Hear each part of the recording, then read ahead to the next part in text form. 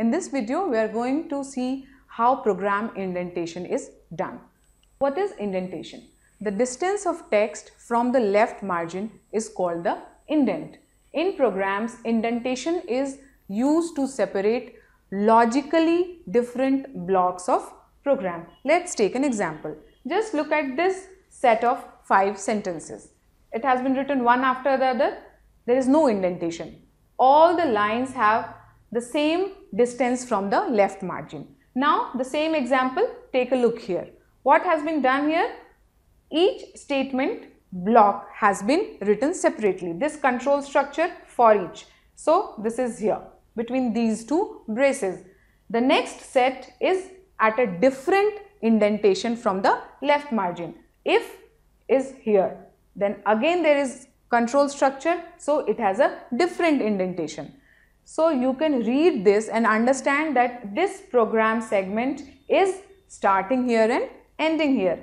This control structure is starting here and ending here. This one is starting here and it has got just one statement there. So it makes reading of the program as well as understanding of the program very easy. Indented program is more understandable. We saw just now flow of control from the for loop to if and back to for is very clear. Each for loop and the if loop was very clear where it was starting and where it was ending. If you insert blank lines that is also a part of indentation itself. Let's see some situations where you should use indentations. Blank lines between logical or functional blocks of code. Suppose there are 10 different things you are doing in a single program. So one function is ended, you give a blank line, then the second one starts, again a blank line, the third one starts. So anybody who is going through that program will know that okay, this has ended here because there is a blank, something new has started there. Blank spaces around operators.